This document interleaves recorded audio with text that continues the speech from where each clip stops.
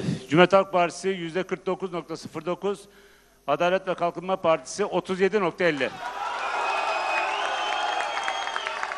Şimdi sevgili dostlar çok teşekkür ediyorum. Gerçekten sahada çalışan gönül dostları olmak üzere herkese yüzlerce binlerce teşekkür ediyorum. Harikasınız. Bu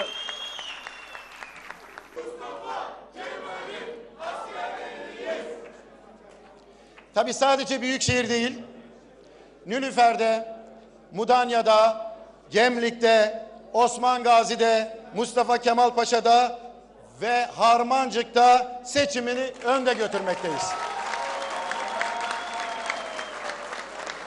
Ve diğer ilçelerde de umut veren haberler gelmeye devam ediyor. Bizler Bursalılara bir söz vermiştik.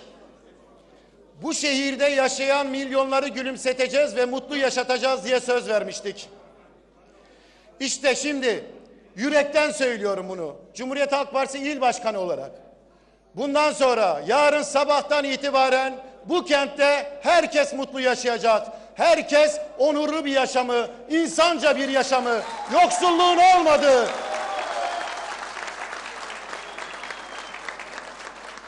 yoksulluğun olmadığı, hiç kimsenin ötekileştirilmediği bir yaşamı bu kentte yaşayan herkese armağan edeceğiz.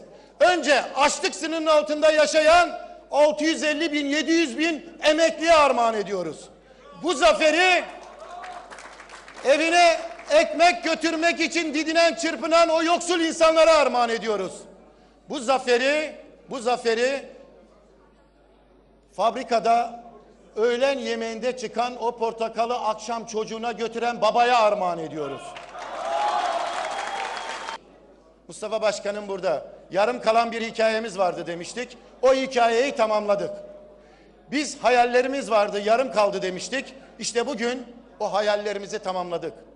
Yarından itibaren bu kentte başka bir güne uyanacağız ve bunu bu kazanılan zaferi Cumhuriyet'in 100. yılında Gazi Mustafa Kemal Atatürk'e olan borcumuzu ödemiş olacağız.